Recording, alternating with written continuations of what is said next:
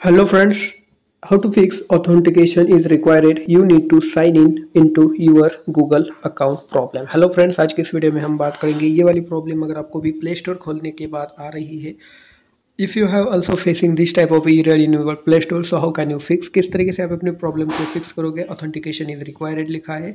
तो आपको क्या करना है? वीडियो को पूरा एंड तक देखिए। वीडियो अच्छी लगी तो लाइक और चैनल को भी सब्सक्राइब ज़रूर कीजिए। तो सबसे पहले यहाँ पे देखिए ऑथेंटिकेशन करने के लिए कहा जा रहा है। यहाँ पे क्या करना है? आपको रिट्राई पर क्लिक करना है। अगर रिट्राई पर भी क्लिक करने से कुछ काम नहीं बनता है तो उस केस में जो नेक्स्ट प्रोसेस है वो मैं आपको बताता हूँ। उसके लिए आपको क्या करना है? इसके लिए आपको अपने फ़ोन की जो है प्ले स्टोर को यहाँ से आप बंद कर दीजिएगा और प्ले स्टोर को बंद करने के बाद डायरेक्टली फ़ोन की सेटिंग में आ जाइएगा।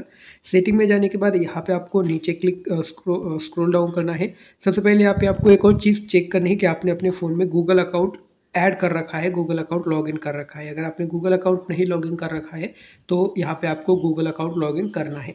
तो गूगल अकाउंट लॉगिन करने के लिए एक तो आप जी खोल लीजिए या फिर यूट्यूब ऐप खोल लीजिए और उसके थ्रू भी आप लॉगिन कर सकते हैं। या फिर आप सेटिंग में आकर यहाँ पे अकाउंट सर्च करेंगे, यहाँ पे अकाउंट लिख देना है आपको, ऊपर सर्च बार में है अकाउंट का ऑप्शन आपको देखने को मिल जाएगा। आपको क्या करना है अकाउंट्स वाले सेक्शन में आपको चले जाना है और अकाउंट्स में जाने के बाद यहाँ पे आपके फ़ोन के जो अकाउंट से सारे शो होना स्टार्ट हो जाएँगे। तो यहाँ पे सारे अकाउंट्स हमारे शो हो रहे हैं। अगर आपका गूगल अकाउंट नहीं बना हुआ है तो ऐड अकाउंट के ऊपर क्लिक करके आप यहाँ पे जो है गूगल के ऊपर क्लिक करेंगे और यहाँ से आपको जो है एक नई गूगल की अकाउंट बना लेनी है। गूगल की आईडी यहाँ से आपको क्रिएट कर लेनी है। तो यहाँ पे थोड़ा सा वेट कीजिए और यहाँ से आपका जो भी इन्फॉर्मेशन है, जैसे गूगल अकाउंट कैसे बनाई जाती है, उसके लिए कई सारी वीडियोज़ है।